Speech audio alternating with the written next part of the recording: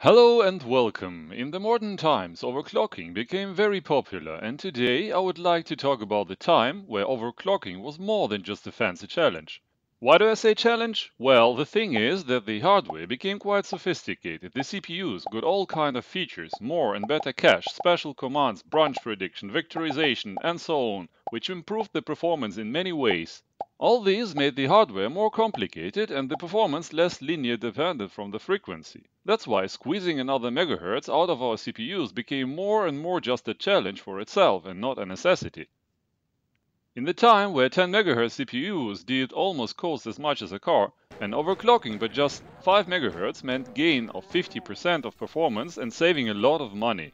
This significance shrank more and more as time was passing by, however in the mid of 90s overclocking still was a matter of money, also a matter of be able to play a game or not.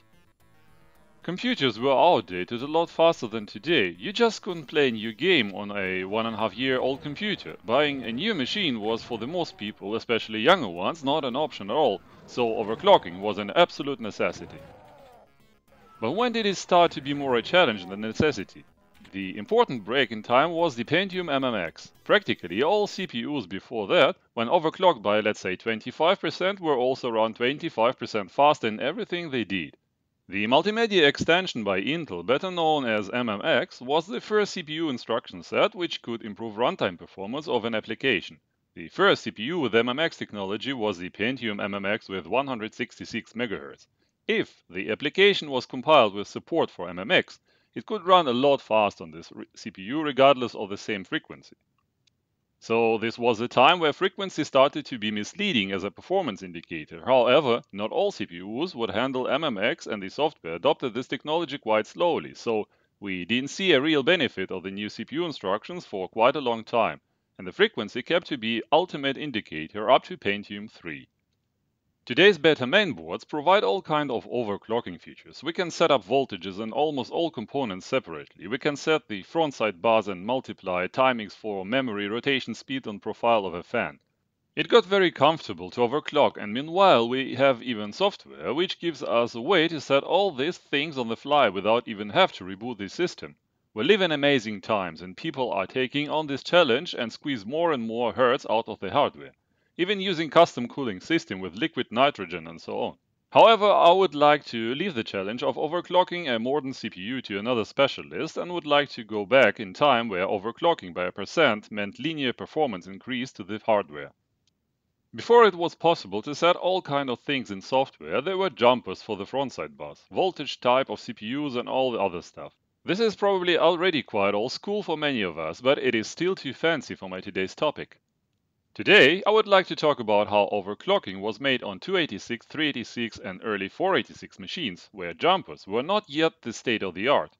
Take a look at this 386 mainboard. I really like this mainboard and it served me good for different experiments in the past.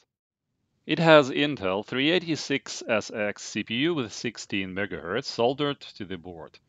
16 MHz is a guaranteed frequency of the clock signal which the CPU should stand but nobody said that this can be overclocked. Okay, but what defines the clock frequency which will be used to drive the CPU? On the mainboard of this age you will find a crystal oscillator near the CPU or the chipset which usually delivers the double frequency of the CPU. On our mainboard there we have a 16 MHz CPU and here you can see the 32 MHz crystal oscillator. Let me start this mainboard and take a look at some benchmarks. In landmark speed test, you can see that the CPU is detected as 15.932 MHz 386SX. We are getting 21.21 CPU points, so this machine runs as about 21 MHz AT. Sysinfo also tells us about 16 MHz 386SX and shows 11 points in the benchmark. Interesting is that NSSI detects the CPU as 16 MHz AMD, despite that it is actually Intel. But in the benchmark, it is nearly as fast as a usual 386SX16 with 3942 points. So to overclock the CPU, we just have to exchange this oscillator with a new of higher frequency. 40 MHz oscillator for 20 MHz CPU clock, 50 MHz oscillator for 25 MHz, etc. The crystal oscillator on this board is soldered, so I have to desolder it first and add a socket to be able to try different oscillators and frequencies. First, let's just try the whole thing again with original oscillator, just to be sure that everything is still okay. Looks good, nothing has changed, and we have our 15.932 MHz again in the landmark speed test. Okay, now we are coming to the interesting parts. We are finally ready to overclock our CPU. Let's see which crystal oscillators I have. This is the original 32 MHz oscillator to run the CPU at 16 MHz. Here I have 66 MHz oscillator which could supply 33 MHz clock to the CPU. This would mean 100% overclocking and would be probably too much. So let's see what else I have. Here is 50 MHz oscillator which would overclock the CPU by around 56% to 25 MHz. This is also quite a lot, but we will see if it would really work. Unfortunately, I have only these three oscillators and nothing between 32 and 50 MHz. This could be a problem. But let's start with what I have. 50 MHz oscillator for 25 MHz CPU clock first. Unfortunately, this seems already to be too much for this 16 MHz CPU. The machine starts but crashes every time trying to boot DOS. So I guess we will not be able to go so high. Well, I'll need an oscillator with a lower frequency. Maybe 40 MHz would be a good start to get the CPU to 20 MHz. Therefore, I'll salvage a clock generator from another 386 donor board. This AV9155 can deliver different clocks from 4 up to 100 MHz. It just needs a 14 MHz crystal and can be easily configured using three jumpers. I desolder it from the donor board and use a simple breadboard to stick everything together. The breadboard can be easily connected directly to the crystal oscillator socket I previously installed on the mainboard. For the start, let's just set up 32 MHz on our breadboard and get 16 MHz on the CPU to verify that everything is working stable. Booting DOS wasn't a problem and in landmark speed test we can see that the CPU is now at slightly higher frequency of 16.636 MHz instead of 15.932 MHz as it was with the original oscillator. Anyway, everything seems to be stable and we can move on rising the CPU clock to 20 MHz. I set up the clock generator on the breadboard to give us 40 MHz and power on the computer. DOS booted just fine and in the landmark speed test we are getting almost perfect 20 MHz clock.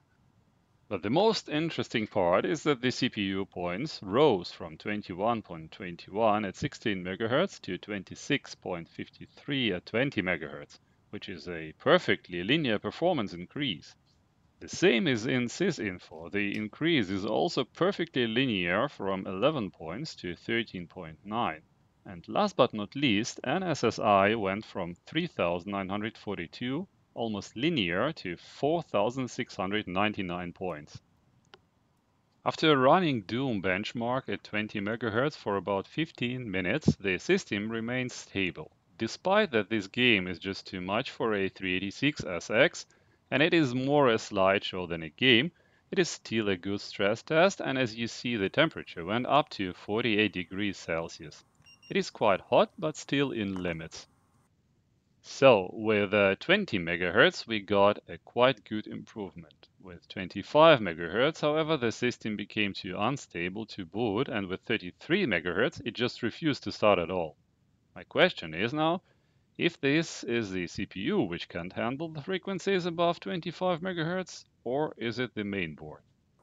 I have an idea for which I already hate myself. As I told, I really like this mainboard and it already had a stressful life with me, but what I'm going to do now is beyond good and evil. However, my curiosity is just too much to not to do this and I'm going to replace this CPU. On the donor board from which I got the clock generator, there is also a 33 MHz 386SX AMD CPU. The original 16 MHz CPU is an Intel, however the 386 AMDs were a drop-in replacement for Intel and are completely identical. It is socketed, but unfortunately I can't move the whole socket to the other mainboard since it is through-hole one and the mainboard I'm torturing has only surface-mounted pads. So I have to desolder the 16 MHz CPU and solder the 33 MHz instead. This 33 MHz CPU should run with the 66 MHz crystal oscillator. Let's see if we get there. I don't even know if it's working at all, but well, what can go wrong? I will use a heat gun so to prevent the original CPU from overheating, I'll put some masking tape and cover it with Kapton tape. I want the heat to be concentrated on the legs of the CPU and not on the die. The area around the CPU will be protected with the same double layered tapes. After adding enough flux, I'll also go over the contacts with Rose's metal, which should lower the desoldering temperature as much as possible. And now it should be ready for the heat gun. With all the preparations, it took just a couple of seconds to get the CPU off the board. Now it is time to clean the pads and with a lot of flux bring some fresh solder on them. Soldering SMD parts with such tiny and fragile legs is not the simplest job. Should you do this, take a lot of flux or you will run into complete solder mess and will have to use a lot of solder wick. Whatsoever, just believe me, you don't want to get that far. It can also be quite tricky to get all the legs from all sides properly aligned on the pads. It is a lot simpler to solder one or two legs on one side and then get the another side aligned properly and solder again one or two legs there and so on. When all sides aligned, just add a lot of flux and go over the contacts with just a bit of solder on the tip of the iron. With a bit of experience and a lot of flux, it is a doable job.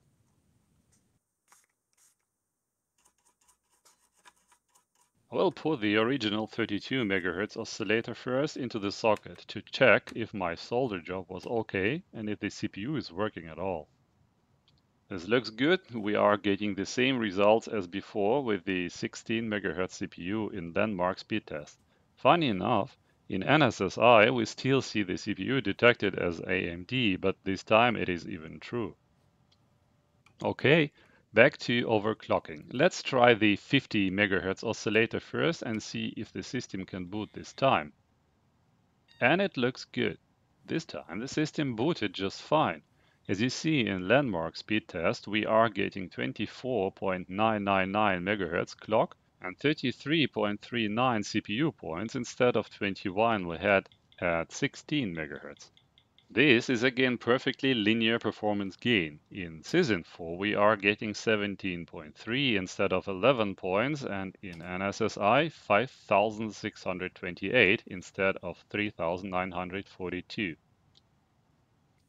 Well, unfortunately, the mainboard completely refuses to show any signs of life with 66 MHz oscillator, so I can't measure the performance of the CPU at 33 MHz. Off camera, I tried to make some investigation, measured the clock on the ISA bus because I thought that it could be overclocked, but it was running perfectly at 7.16 MHz. I also tried another memory with lower latency, but couldn't find anything what would help. At 33 MHz, the mainboard was like dead, and after a while I even encountered rare instability at 25 MHz. So I guess 25 MHz is the absolute limit for this mainboard, and it is not made for higher frequencies. Interesting enough, in the online documentation I found that this mainboard is specified for 16, 20 and 24 MHz CPUs.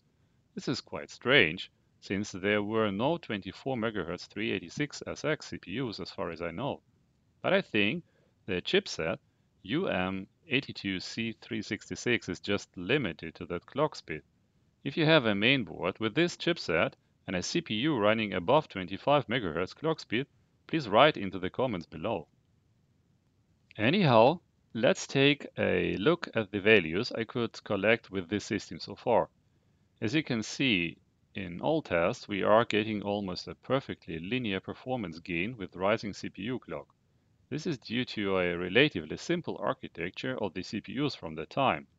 However, keep in mind that back in the day, every megahertz was a direct indicator for the performance of a CPU and their prices grew up exponentially. Such an improvement, as we see here, could cost thousands of dollars. That's why many people started to exchange the crystal oscillators for a couple of cents to get more out of the hardware, and this is how overclocking began.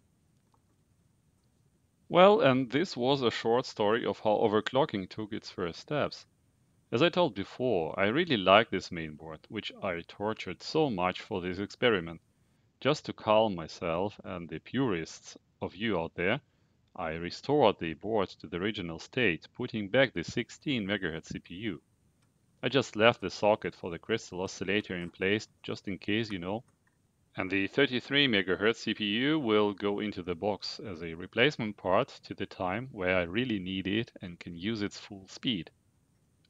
So far, I hope you enjoyed it. As always, please leave your feedback below and don't forget to leave your likes or dislikes to let me know what kind of content you are interested in.